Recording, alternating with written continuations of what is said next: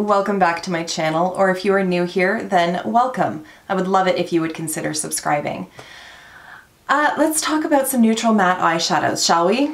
Because you've probably seen the palette that's going around that has 30 of them in there, and I'm here to say nobody needs 30 matte neutral eyeshadows. Literally nobody does. Here's the palette that I'm talking about. There are many issues that I have with this palette. I mean, the outside art, not my thing. The name, definitely not my thing. The shade names, they make my eye twitch. Uh, but overall, what I want to focus on is the row upon row upon row of matte neutral eyeshadows that not even a working artist needs this, truly. I, I really have to feel, and I'm not a makeup artist, I'm not, but I really have to feel that a makeup artist is skilled at using what they have in order to create the shades they need, if that makes sense. I can't imagine any working artist walking around with a 30 pan palette. First of all, with orgy written on the front of it, but like, let's move past that. But 30 neutral eyeshadows, plus whatever other assorted colors they may have to, to provide options to their clientele this is just massive. And a lot of these shadows, honestly, once they're blended out, are going to look the same. There's really not going to be any discernible distinction between a lot of them. So what I have done is I have gone through my collection of single shadows. I have pulled out nine and I've created my own little custom matte neutral eyeshadow palette. Let's take a look. These are the shades that I think are all you need, honestly. Now, granted, different skin tones might want deeper options or lighter options, but I've tried to create a bit of a gradient here, some a little bit warmer, some a little bit cooler. I've omitted the white because I really don't think a lot of people get a ton of use out of white, um, but these are the ones. And so I'm gonna pull them out and just show you them individually. I'll do arm swatches and then we're gonna move on. I don't anticipate this being a wildly long video because it's nine shadows, it's really not that much to talk about. Uh, so we'll start with the one that just fell out. I will say MAC shadows, not the most magnetic. They're really, really not. But at any rate, I'll be right back. I gotta pull these out of here and I have fake nails on and that makes it far more difficult than it needs to be. Be right back. All right, so I've got them all out in what I think is a bit of a gradient here forgive me. I've tried to lump them towards like cooler slash more neutral, warmer, and then the really darker options. Uh, at least that's just what works in my mind, but that's the joy of singles is that they can be arranged however it works for you. So let's just dive into it. With the exception of one Makeup Forever shadow, these are all from Makeup Geek or MAC. Just simply what I have on hand. I'm sure there's a lot of indie brands out there that have some excellent options as well but this is what I have to work with. So these are the ones that I pulled, obviously. So up first is Omega. This is a MAC eyeshadow. And I'm just gonna, like I said, just do some arm swatches. I'm not great, let's take the watch off. I'm not great at describing like the undertones and the shades and all that kind of thing. So I'm just gonna let the swatches kind of speak for themselves. In case anybody is interested, there is no primer. These are just dry swatches. But what I like about Omega is that it really does add definition like to the crease, but it's not overwhelming. So if you are on the more fair side, you're still gonna be able to see it, but it's not gonna be like really stark, harsh contrast.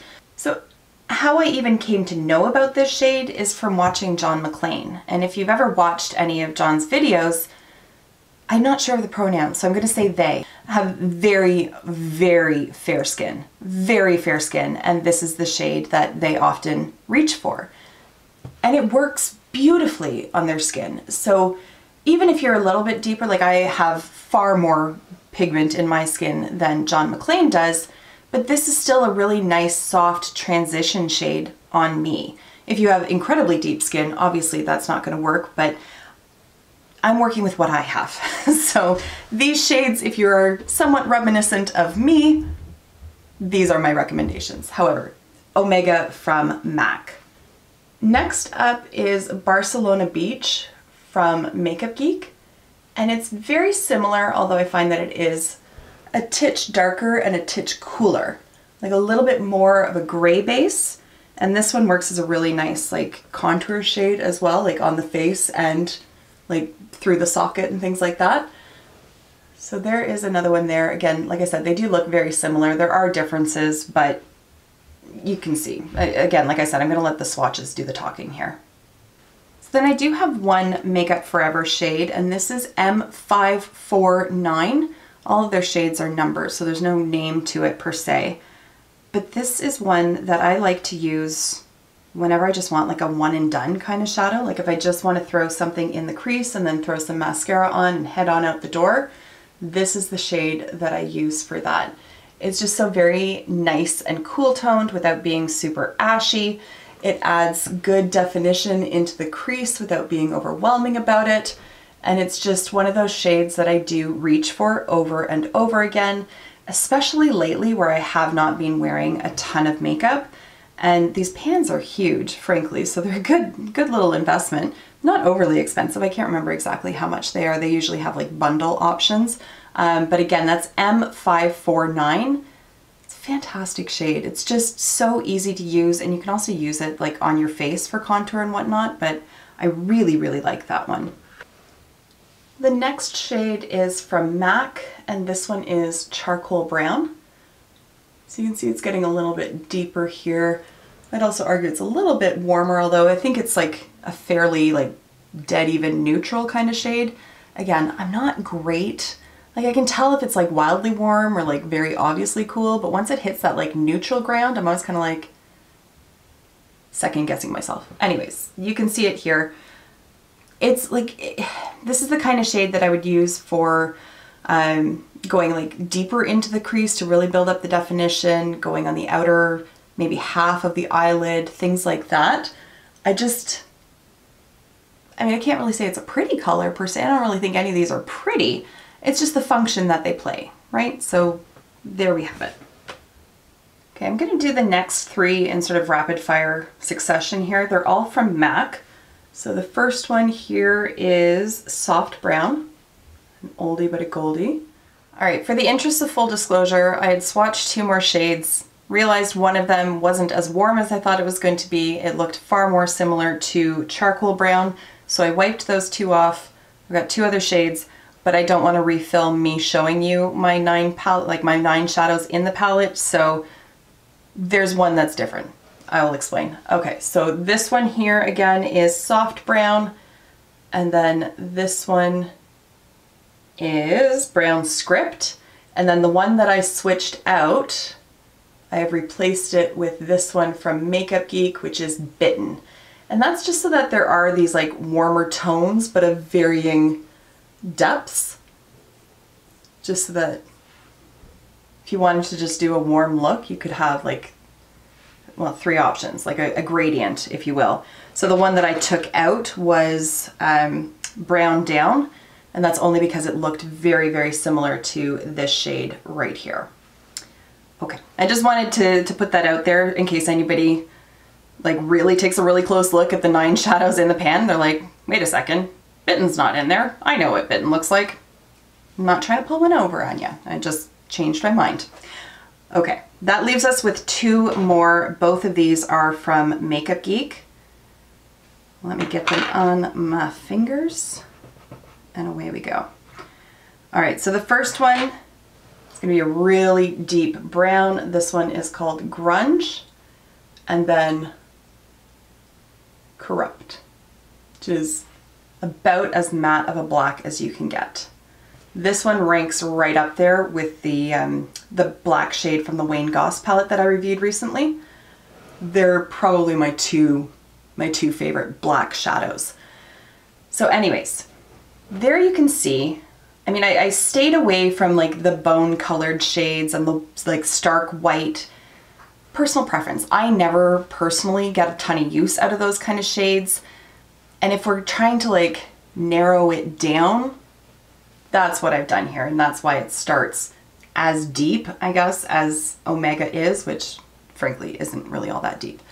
Okay, so those are the nine shades that I would recommend. Like if you're if you're looking to build a matte neutral brown palette rather than dropping 62 US on 30 shades, a lot of which are just redundant and unnecessary. I really feel with that palette, I'll stick it back up here again, you could knock out row two and row four, just go with one, three, and five, and you would still have too many shades, but you would still be able to work with it. Or alternatively, like take that top row out, stick with two, three, take four out, stick with five. You know what I mean? Like there did not need to be this many shades in there at all. Uh, because if you have a deeper shade, but you want it to be lighter, just blend it out. Like you don't have to pack on the pigment. You don't have to build it up to full opacity. I mean, it's harder to do with something like a black, but like go in with a deeper brown then if you're looking to deepen up the outer corner or line the lashes or something like that. It doesn't have to be black. And I think like this is a workable kind of arrangement here. You have more neutral options, cooler tones, warmer tones. You've got the gamut, you've got the gradient.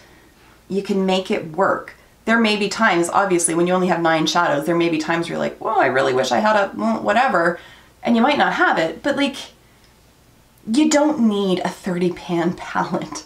And certainly you don't need one that's anywhere near as cringy as that one. That That is a, that is a gripe all in its own, and that's not what the focus of this video really is, because to each their own, and if it doesn't bother you, it doesn't bother you. That's totally fine. Like, I, for one, don't want to do a tutorial and film it and put it out onto the internet where I'm talking about applying cunnilingus to my outer corner.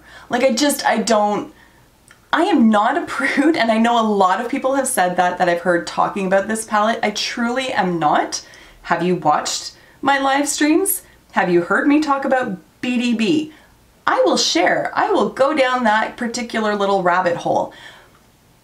But I don't want the shade Glory Hole in one of my palettes. I don't. And I don't want Jeffree Star in a spread eagle position on the front of a giant ass palette. Like I just, I just don't. And I don't think that you need it because you don't need the shades that are in that palette. If you want to buy it, that's your choice. That is completely up to you. Who am I to say what to do with your money? I'm just here to provide some alternatives to maybe start a conversation about this kind of thing. I would love to hear from actual makeup artists. Like, what do you carry in your kit? Do you carry a gajillion shades so that you have an option for every opportunity? Or do you work with what you have and get creative with it? Because, I mean, they're like foundation. Do, do you carry 40 shades of foundation or do you mix and match and create custom shades? Because I, I feel like you would, because otherwise you'd be carrying around like an entire trunk full of options and it would just wouldn't be practical and things would go bad before you could use them and like it would just be a nightmare. Uh, but regardless, I'm not a working artist. I never have been. I don't think I ever will be. So what do I know? All I know is just from a consumer's perspective, I don't want to drop 62 US, which in my money is going to be over $80 here in Canada, plus the cost of shipping, plus the duties and import fees. Like that's going to be uh, literally a $100 palette for shades like Cunnilingus and Glory Hole. And I'm not going to get use out of a bunch of those. Or it's going to be one of those palettes where I stare at it and I'm like, like a deer in the headlights because I don't know which particular shade of taupe is the shade that I, like it's overwhelming, it's far too much.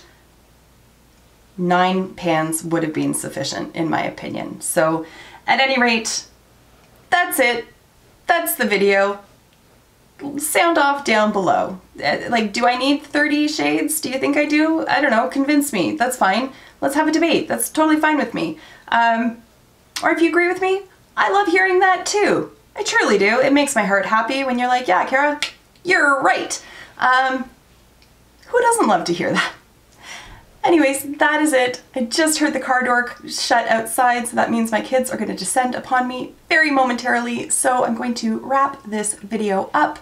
Thank you so much for taking the time to watch, and I will see you in my next one. Until then, just be a decent human being. Bye for now.